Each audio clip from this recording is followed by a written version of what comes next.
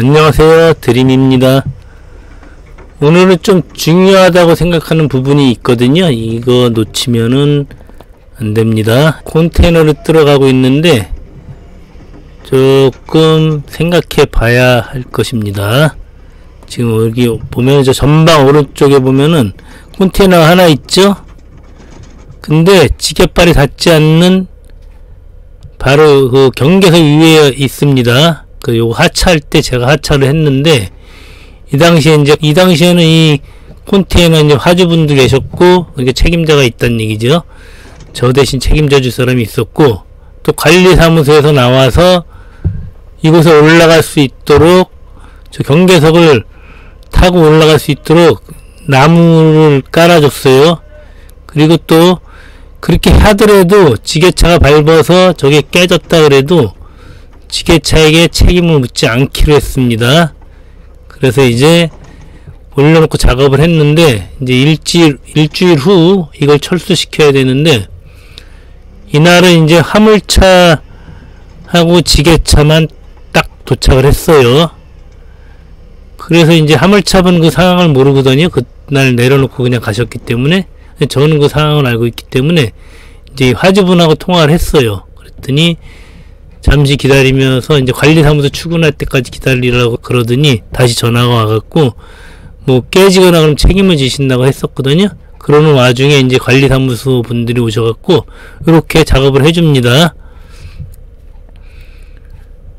이렇게 작업을 안 해주고 이제 내가 올라갔다가 뭐 저 경계석이 오래된 거예요. 그런지 시멘트로 된 건데 저것은 분명히 깨질 수가 있어요. 지게차가 밟았을 때요. 그래서 이제 그거를 갖다가 면책을 분명히 면책 조항을 말씀드리고 깨질 수 있다는 거 고지를 충분히 하고 작업을 하는 거죠.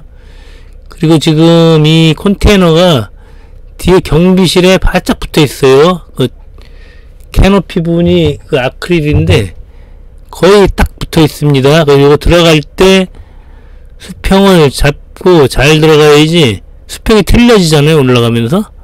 잘못해서 컨테이너를 밀게 되면은 그게 이제 우당탕 와지끈 부서지겠죠? 그러니 그거 조심해서 들어가야 됩니다. 현재 이제 지게차 타고 올라갈 부분에 지금 이렇게 충격을 안 받도록 그런 식으로 나무를 깔아주고 있습니다. 뭐 급하다 그래서 뭐 저거 뭐 사실은 그냥 아무 문제가 없다면 쿠사리를 저기다 걸어갖고 막 땡겨 나와도 되죠. 근데 이제 그렇게 땡겨 나왔을 때 컨테너도 파손이 될 수 있고 이 바닥 보드블록도 많이 긁히겠죠. 그거를 방지하기 위함입니다. 자, 이런 거 들어갈 때 올라가면 수평이 틀어지죠. 높낮이도 틀어지고 그래서 정말 미세하게 들어가야 됩니다. 천천히.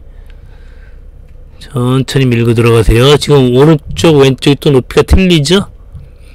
여기서 컨테이너가 1cm 정도 밀리게 되면은 뒤에 아크릴 그 캐노피를 건드게 돼 있어요.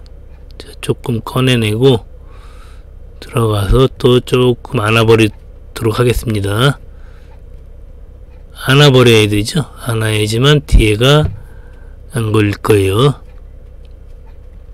바짝 안아주면은 이제 컨테이너가 앞으로 좀 당겨오죠. 자, 이대로 나가도 되지만 안전을 위해서 조금 더 들어갑니다. 들어갔죠? 이렇게. 자, 이제 안정권에 들어왔습니다. 이제 이것을 지나가는 행인과 차량만 조심하면서 화물차에 실어주면 작업은 끝나죠? 근데 오늘 같은 경우가 상당히 많이 있죠. 자, 지게차, 영업용 지게차다 보면은 그런 경우가 굉장히 많아요. 그랬을 때 내가 조금이라도 피해를 볼 수 있는 그 작업이라 그러면은 정지를 하고선 그것을 그 해소를 시켜놓고 작업을 해야 되겠죠. 무턱대고 저 컨테이너 가서 꺼내오라 그래서 무조건 꺼내오는 거 안 됩니다. 저 경계석이 부서지거나 보드블럭이 뭐 깨지거나 그러면은 그걸 갖다가 지게차가 다 물어줘야 될 수가 있어요. 그것은 어떻게 그러겠냐 그러지만 틀림없는 사실입니다.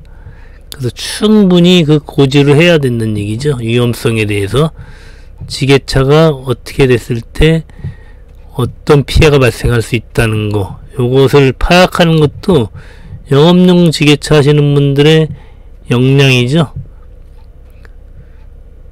솔직히 저도 초보자 시절에는 그런 거 막 모르죠. 그냥 마구 들어가려면 들어가고 뭐 그- 그래서 보드블럭 새로 깔아놓은 거 다 뒤집어 놓은 적도 있습니다. 그때는 물론 들어가라는 사람이 분명히 있긴 하지만 그 사람이 책임을 안 지게 되면은 결국 책임은 지게차가 져야 된다는 얘기예요. 자 이렇게 화물체 얹었고 요거 이제 조금 가서 내려놓으면은 오늘 작업 끝입니다. 간단하게 두탕 같지만 심적인 처음에 그 심적인 고통은 큰 거죠. 컨테이너를 들어 들어갔을 때 일어날 수 있는 모든 일을 예상하시고 작업을 하셔야 됩니다. 자, 오늘도 안전운전 하세요. 감사합니다. 저는 이만 물러가겠습니다.